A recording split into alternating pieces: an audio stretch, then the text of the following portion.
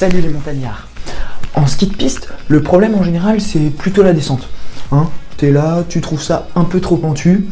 Et bah en ski de rando, le problème c'est la descente et la montée. Pourquoi? Parce qu'en ski de rando, on n'est pas des bourrins.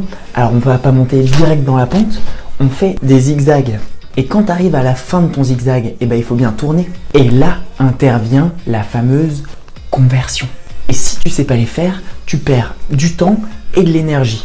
Et pour peu que la pente soit un peu raide, tu vas aussi te faire très peur. Parce que si tu perds l'équilibre dans une pente gelée, tu risques de le regretter.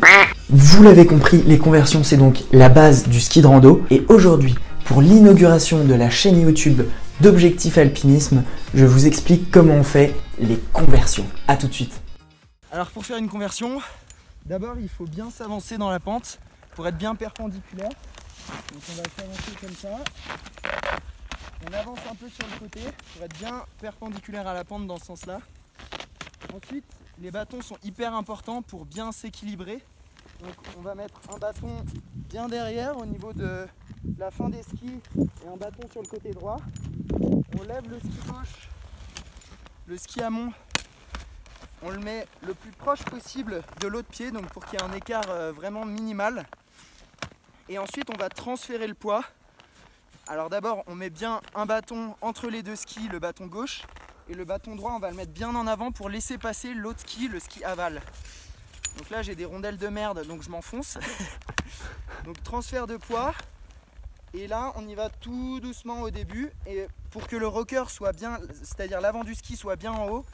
Et ensuite on vient ramener ici. Sinon vous pouvez également donner un petit claquement au niveau du ski en aval pour que le rocker se, monte bien.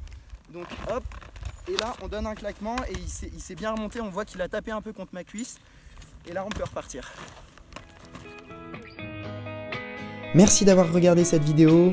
Les conversions sont un sujet assez complexe, donc je pense que je referai des vidéos sur le sujet. Euh, si vous avez aimé, eh ben, laissez un pouce en l'air, téléchargez votre bonus si ce n'est pas déjà fait, et puis abonnez-vous